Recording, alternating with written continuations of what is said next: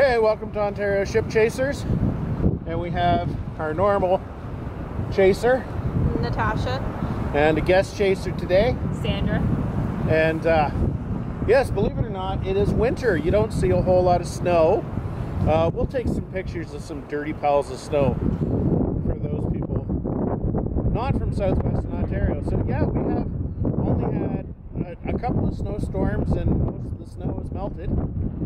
It is a week into February, and what we're down here to do is to film some uh, wintertime shots of the canal, not having any water in it. So what we're going to do is, is we're going to show the summertime shot, and then we're going to show the, the current winter shot.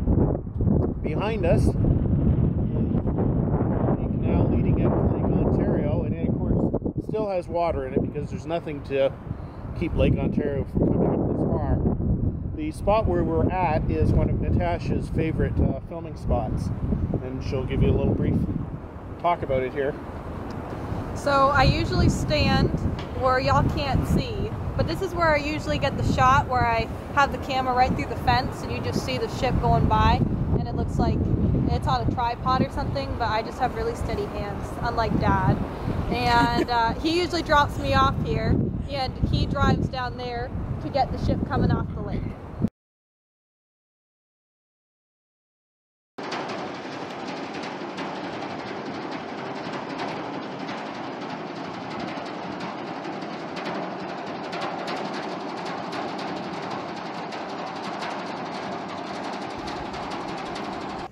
Here's a set of little gates that we never knew about that's stopping the water um, from the lake going into Lock 1.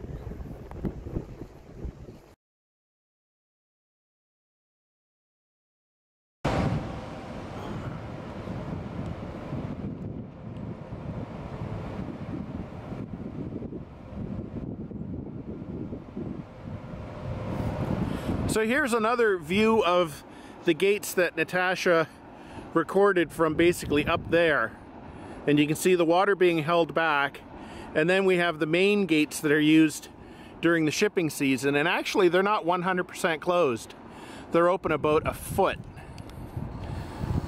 Let's see. There, you can see they're open about a foot.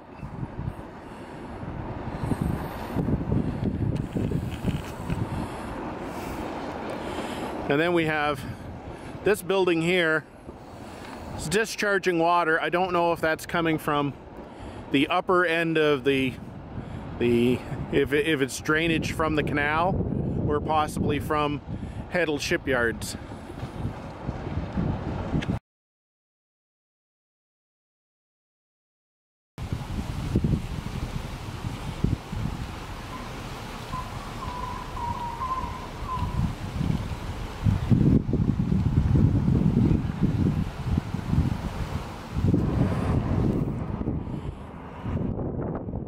Just upstream of Lock 1 and we're looking at Heddle Shipyards and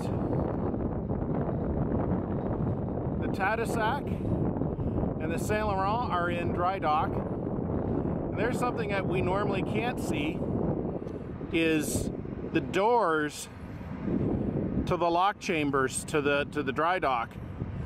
And you can see that the one on the left opens on hinges and the one on the right actually it slides to one side. And in front you can just see a little bit of the water that's already that's that's still in the canal. Everywhere along the canal you can see there's uh, work crews making repairs and things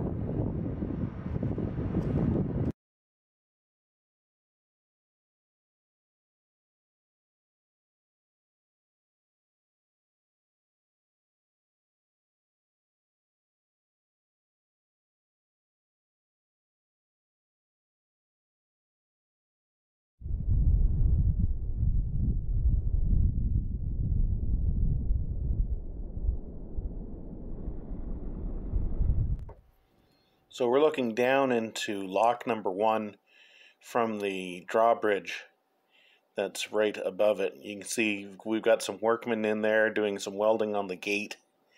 Um, There's quite a bit of maintenance all up and down the canal here. You can see he's on some sort of scaffolding, welding away.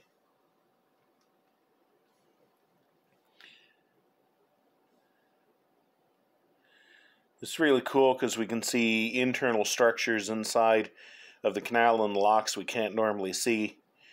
Um, you can the lower part of the lock is so much deeper than the upper part.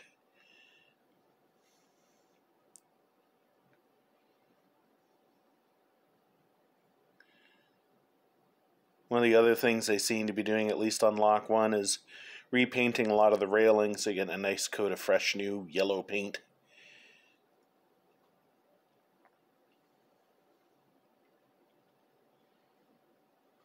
They're doing some work here on the other door, and of course, you can see they can move independently if they have to. Uh, now, Sandra noticed these these things here, which I can only describe as I don't know, dragon's teeth.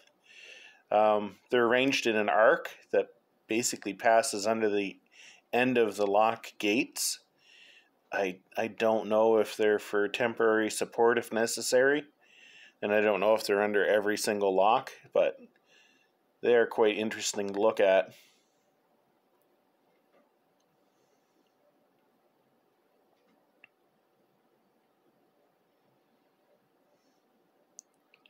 To the left, you can see the the stairways that the workmen are, are using to get up and down inside the lock.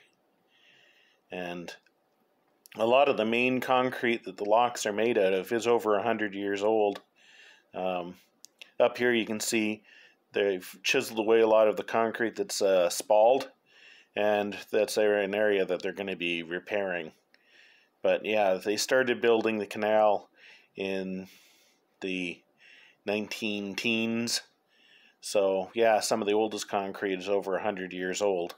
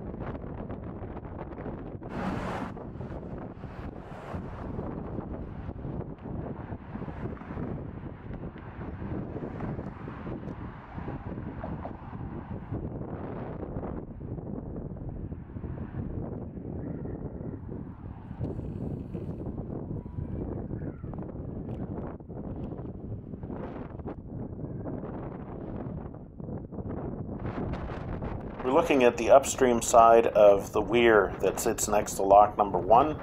This maintains the water level in the canal. Uh, this area right here is where the water level is controlled going into the lower part of the canal. This area you see here is where they draw water into the locks. And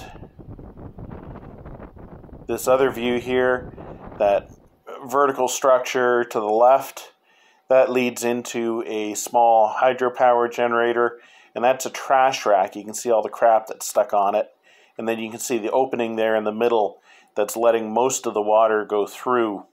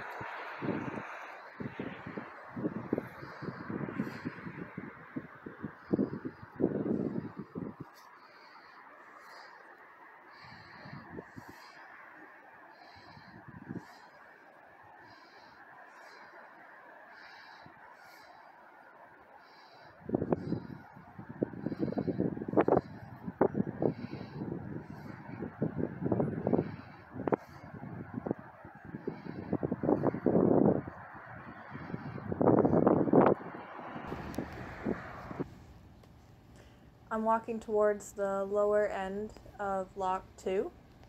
We don't usually film here as there's lots of trees.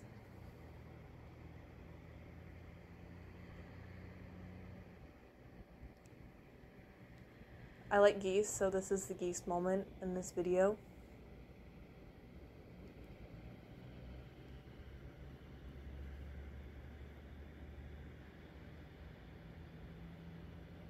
On the right, you can see the lower gates, and that's the overflow.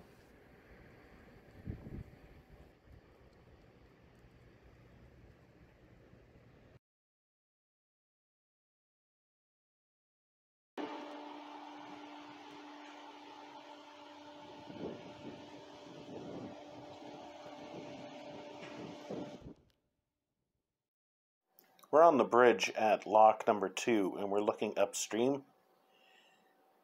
And there's not a whole lot to look here. It's all pretty gray and foreboding. And there's the drawbridge itself and the upper end of lock number two.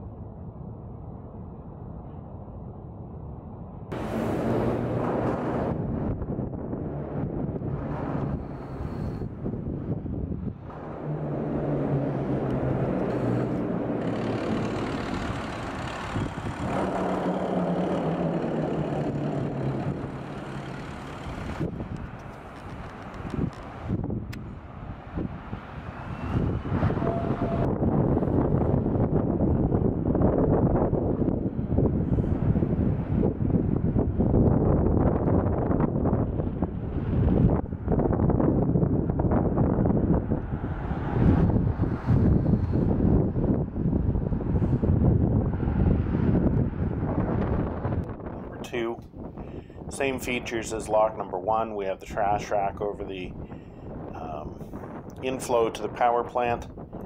And, uh, you know, th this is the upstream side of what Natasha filmed on the other side.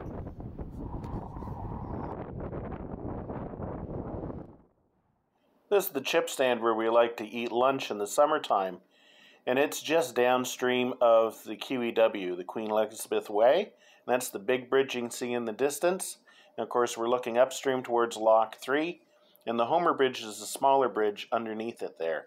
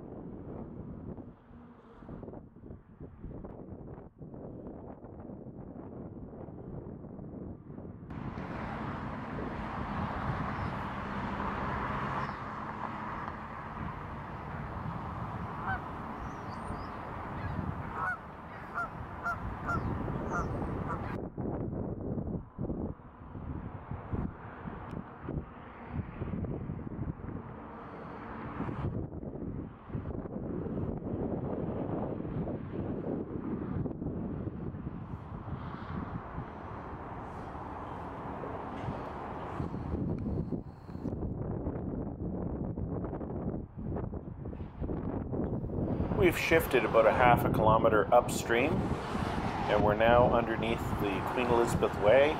That's the major four lane or actually six lane highway in this part of Ontario.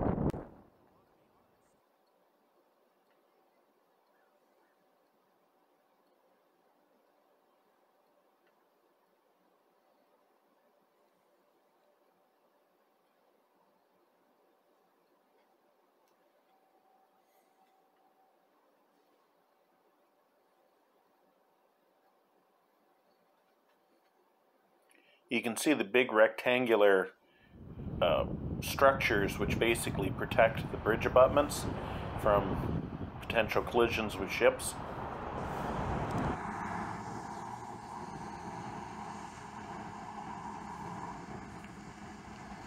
In the distance, we can see the Homer Bridge, and it is a double leaf drawbridge. Um, we were hoping we were going to be able to shoot from it today, but unfortunately, it's undergoing some major renovations, uh, some repair work,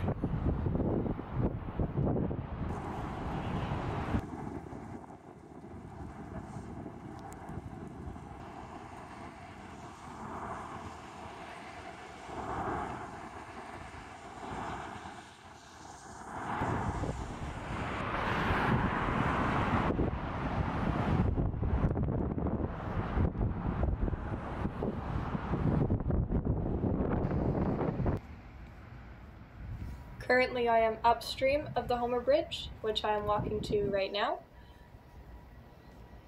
Dad and Sandra just dropped me off.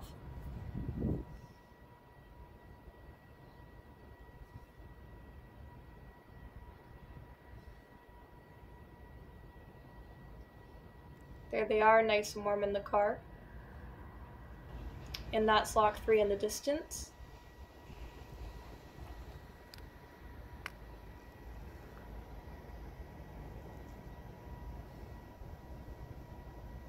And is a nice close-up of the construction work on the bridge.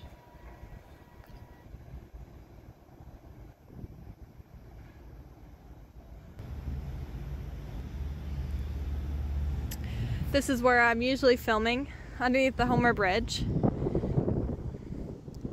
Right now there's construction, so it's closed, so Dad's not up there. But this is where I stand.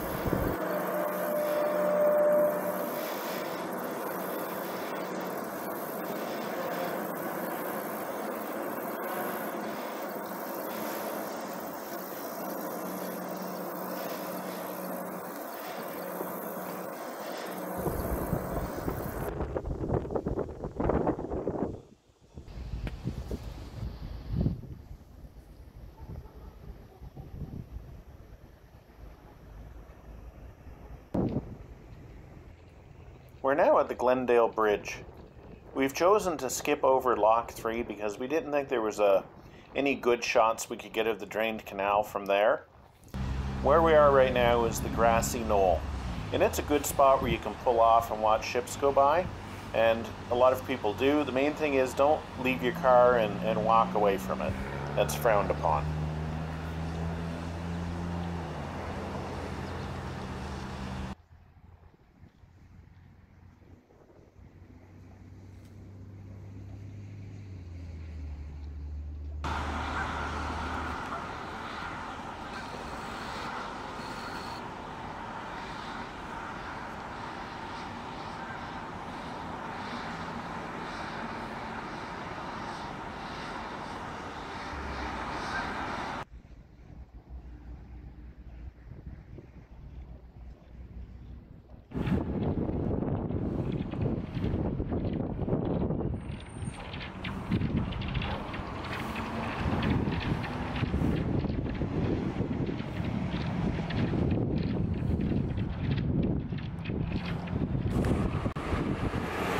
Sandra and I have ventured out onto the Glendale Bridge in order to get these shots.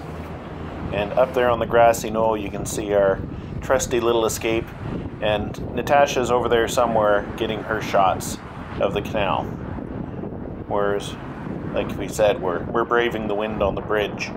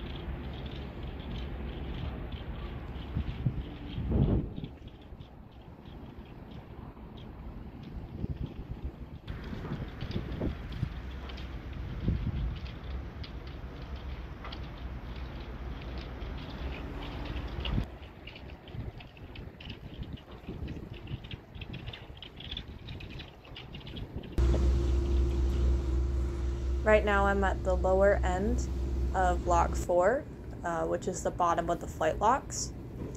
I've filmed here a couple times. I like to get this shot of uh, the ship going by real close. This is the Happy River. To the right of me is the powerhouse building. And that's Glendale Bridge over there.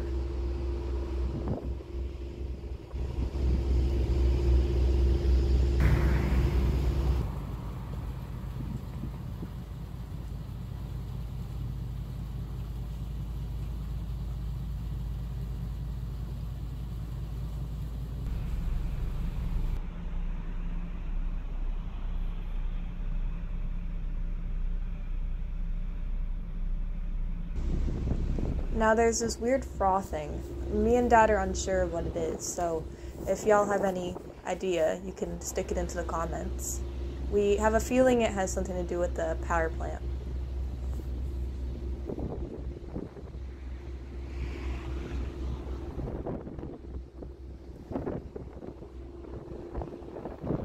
We're now at the lower end of Lock 7. This is the lower end of Lock 7 gates and just to the left is the basin between the flight locks, that's lock 6 and lock 7. It's kind of a big open area where ships can pass.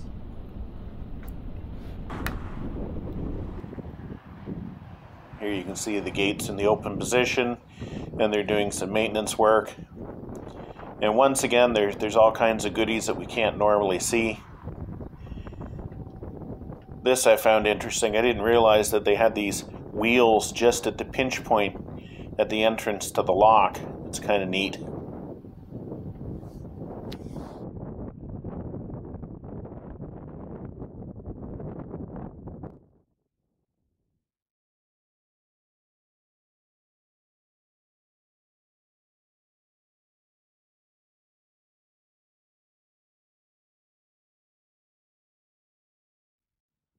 Here is a bit of a climb, but it really is a rewarding place to shoot from. Uh, the nice thing is, is you're almost kind of looking down at the oncoming ships, at least the ones that are coming upstream, and you can get some really interesting views. Here we're looking at the the upper gates of Lock Six. I shot this from a little bit higher up the hill.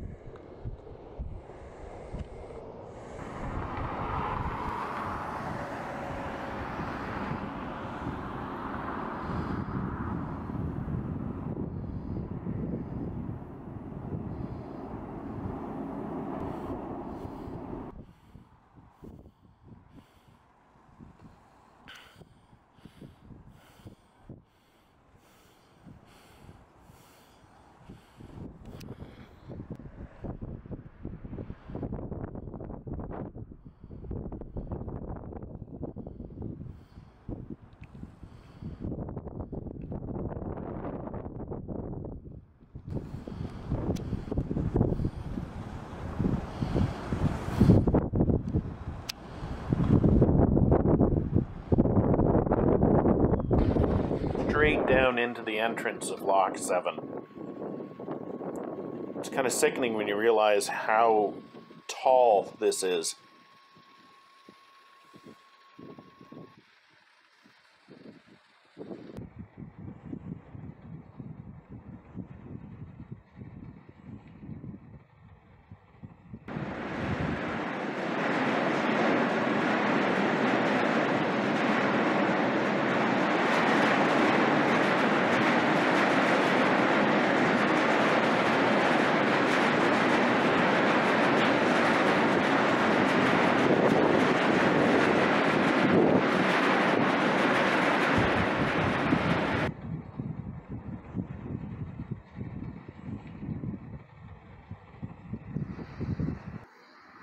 This is about the grandest view you're going to get of the basin between the flight locks and Lock 7 without using a drone. And no, I don't have one.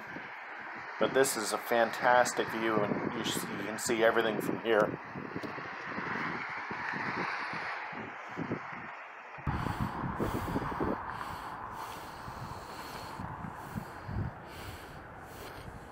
Both Natasha and I always thought that this segment here was a solid wall, but in fact, it's just basically a guardrail that's uh, that's mounted on a bunch of heavy pilings.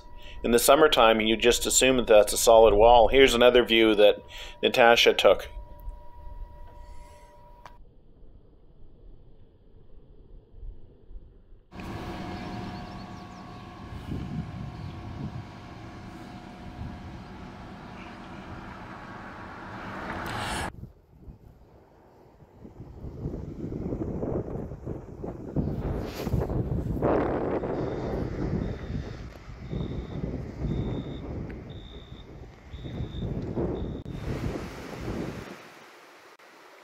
Finally, we're at the upper end of lock number 7. And these closed gates you're seeing are not the gates that are normally used when the lock is in service. You can see that those ones are a little bit farther back. As I understand it, these gates that are closed right now in, in the winter shots are basically the guard gates. They're the ones that protect the, the lower parts of the canal against flooding. Um, but right here, they're using them basically to seal off the lower part of the canal. When we were there, the stop logs were not in use. You can see there's the canal right off to the to the right. The water level is high. I've never seen these in the closed position. Mind you, we don't live here though. The rest of the canal from Thorold to Port Colborne does not get drained for the winter, but we decided to go to Port Colborne anyway to see all the ships tied up.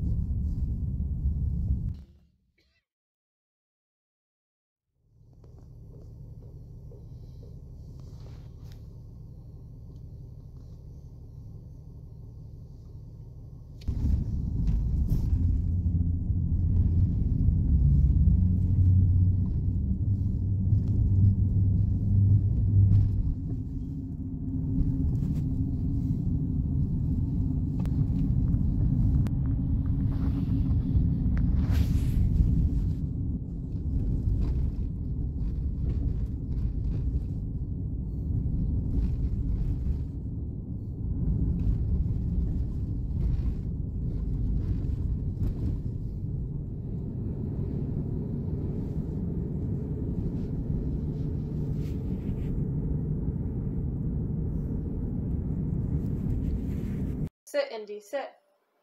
Good dog.